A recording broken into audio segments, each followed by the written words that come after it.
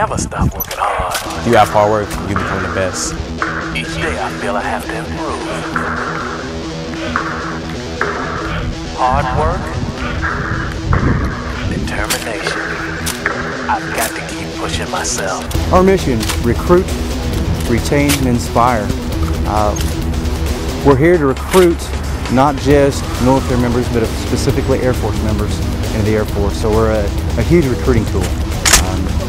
Retain those that are already in the Air Force and inspire them.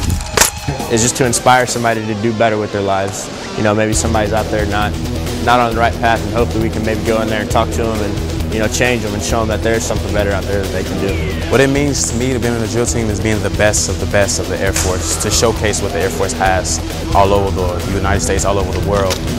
Being on the drill team is, as I was told, being a big fish in a small pond because everyone knows who you are.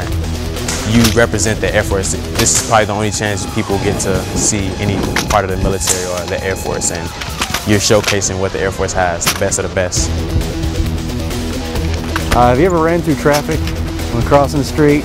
Uh, it's pretty much that, uh, except uh, this way, you know everybody driving. Uh, so the first time I did it, it's just one of those things that is, I look back at uh, my early Air Force career of maintaining aircraft. You're out there and you know the people who are taking the airplane apart and putting it back together, and yet you still get on that thing and fly in it at, you know, 20, 30,000 feet for long distances. So you have a lot of trust in your wingman. And the same thing here. Uh, I've gotten to know these, these young men. They're my Air Force family. Drill team as well as the honor guard, we represent the past, but we live in the present, so we always have to keep that keep that standard of the past up. We never have we can never let it down, and uh, basically just keeping that standard of excellence in all we do. The getting ready part is kind of it's kind of an art almost because we go we go through this process. I mean, we got it. We got the ascots that we put on. You know, we got to pin them a certain way. They have to look a certain way. They've got to be straight and aligned with the blouse. Uh, and that that kind of brings camaraderie with them because you know we're trying to set each other up to look the best that we can because we're representing everybody.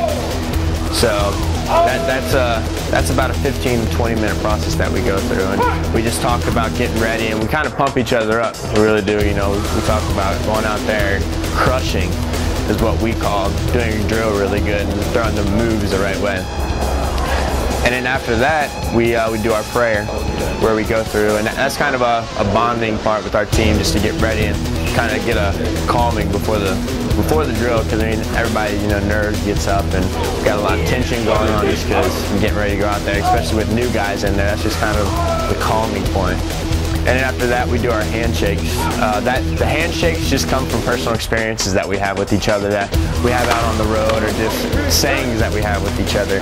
A lot of the time, people will watch us and like, what are they doing? But we, well, we know we know what they mean, and we know what it's for and stuff. And so that that's kind of that just all, is always remembering, you know, stuff that we've done together, and you know, just that brotherhood that we have. I've got to keep pushing myself. We do what we do, uh, just like we have other uh, Air Force band, Tops in Blue. We try to inspire those that are in the Air Force to give them a sense of pride.